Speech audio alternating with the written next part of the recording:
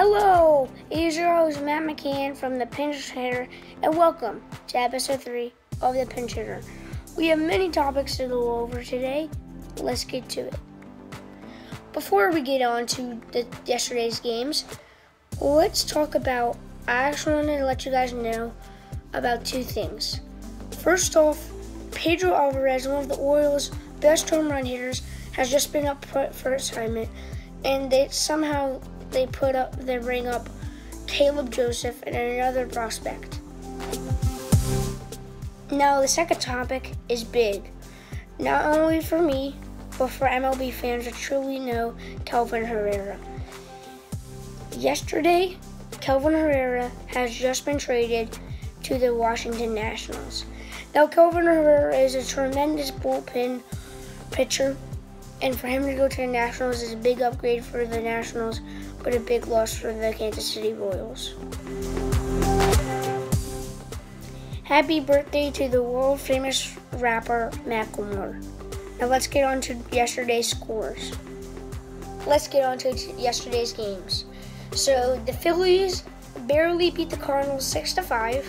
The the Pirates barely beat the Brewers 1 0. The Yankees beat the Nationals 4 2. The Indians beat the White Sox 6 2. And that was all the game. Well, no, it's not. Never mind. The Astros beat the Rays 5 4. The Rangers beat the Royals 6 3. The Mets demolished the Rockies 12 to 2. The Diamondbacks beat the Angels 7 to 4. The Marlins beat the Giants 5 4. And those were all the games for yesterday. Now, many MLB fans know that Manny Machado will most likely be traded by the end of the year or at the trade deadline, or somebody will pick him up by free agent market market. See, I don't know if that's a word, but we're just gonna go on. um, but nobody has really noticed Jacob DeGrom. Now, actually, a lot of teams are in market for Jacob DeGrom, and he's a really big possibility. So, I would just warn you guys to don't be um, surprised when Jacob DeGrom gets traded soon. Now, some of you may know about this. Not too frankly ago, but Miguel Cabrera is out for the whole entire season. Now, he, this completely lowers his chance of him getting 3,000 hits or going to the MLB.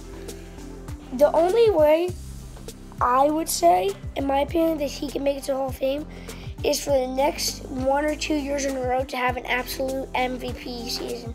I'm talking like Aaron Judge and Mike Trout combined, two years in a row, if he wants to have a shot. But if he wasn't injured, he definitely could have had the, been capable of 3,000 hits. So I was just informing you guys that Miguel Cabrera will most likely not have go to the MLB Hall of Fame unless if he doesn't have an MVP season next two years. But and that he also got injured. So there. I'm really sorry this was such a short video, but I have nothing else there's on the news today. Thank you much so much for watching. I will see you guys tomorrow and this episode is sponsored by Rolex. Thank you so much for watching. I will see you tomorrow.